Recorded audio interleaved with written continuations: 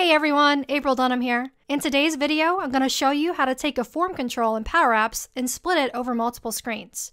But first, here's the intro.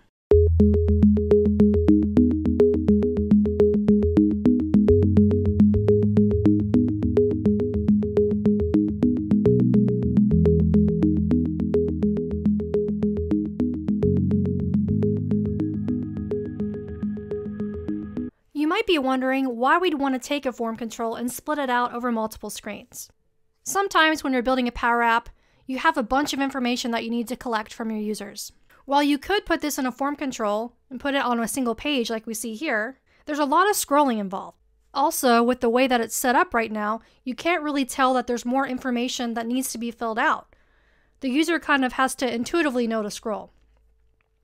From a user experience standpoint, this isn't really ideal. A better approach would be to break this out into bite-sized chunks. As you see here, I have some arrows for back and forth, and I'm breaking it out into different sections. That way there's no scrolling and the user knows what they have to do next. When they get to the end, this will change to a check mark so they know this is the end of the form and they can submit it. Luckily, this isn't too difficult to implement, so let's take a look.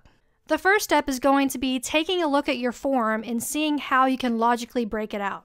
In my case, it was fairly simple because this is a safety checklist, so there are certain categories for this checklist that I could break them out into. Once you decide how to break out your form, you'll go in and add new screens for each of the different sections.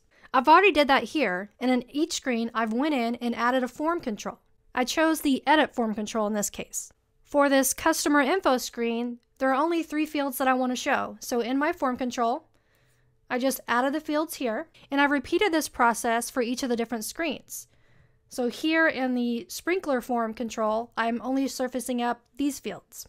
This part's the easy part. On each of your individual screens, you'll want to put in some kind of icon so the user can toggle back and forth between the forms.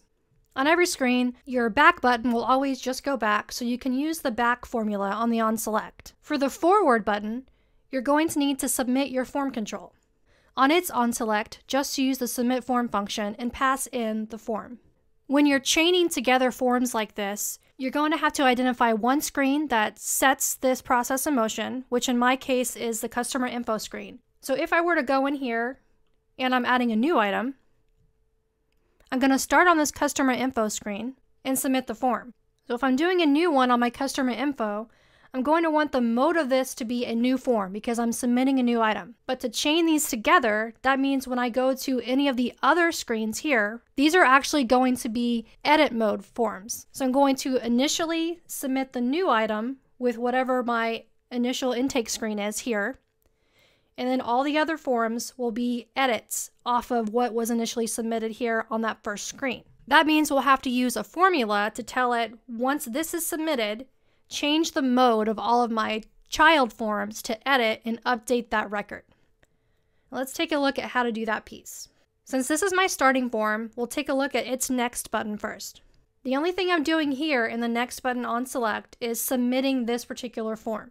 Now, let me start with a common mistake that I see people do when they're trying to implement this chaining of forms together in multiple screens. Here on the on select of the button, when you're moving to the next screen, you'll often see people add in the logic to move to the next form and change its mode here. The problem with doing it here is that if for some reason this submission failed for this form, like maybe I forgot to put in the required customer field here, then it's still going to proceed with your logic and the subsequent submissions of the form will have errors. The way to get around this is to use the form controls on success property. If you select your form control and go to the properties drop down in the upper left hand corner, you'll see an option for on failure, on reset, and on success. In our case, we only want to move on to the next piece of the form if this submission here succeeded. So if we go to the on success property, this is where we'll want to put in our logic that's letting us go to the next screen. You'll see a couple formulas here. The first is I'm setting a global variable called form type, and I'm setting that to edit. Because after I initially submit this new item, I want all of my other form controls to be edit mode. So I'm going to use a global variable to check what the mode is and set it correctly in my other forms. This other one here is another global variable that I'm setting called selected item.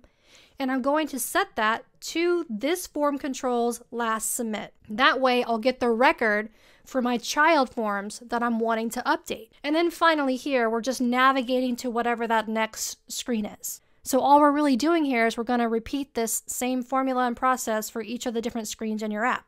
Let's take a look at the next screen in the process, which is our sprinkler info screen.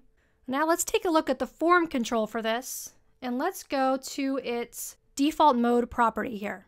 This is where I'm using that global variable that we just set in the on success of our previous form.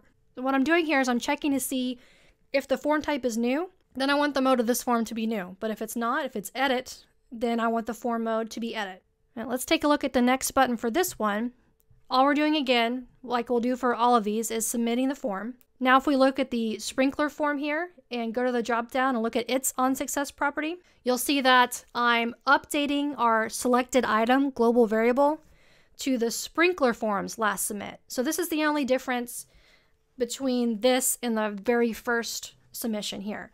Each time that we move to a screen and submit the form, we need to update this selected item variable to the last submission. That way it's getting the most updated data that we submitted. And then we're just navigating to the next screen. That's really all there is to it to chain these together. The only other thing is on my landing screen here, you'll see that we can initiate a new request or see an existing one. So the only thing that I'm doing there is when you select an item, I'm using that same form type global variable and setting it to edit when I select one from this gallery. And I'm setting that selected item global variable to what's ever selected here in the gallery so that when we go now to this first screen here, our customer info, it's going to pull in the data from whatever we selected in the gallery because the form control here has that same default mode setting to check if the form type is new and switches the mode accordingly. And then also on each of these form controls here, you'll want to go into the item property and make sure that's set to the selected item so that it pulls in the appropriate record. All right, that's all there is to it for this one. I hope you found it helpful. If you did, please like and subscribe, and I'll catch you in the next video.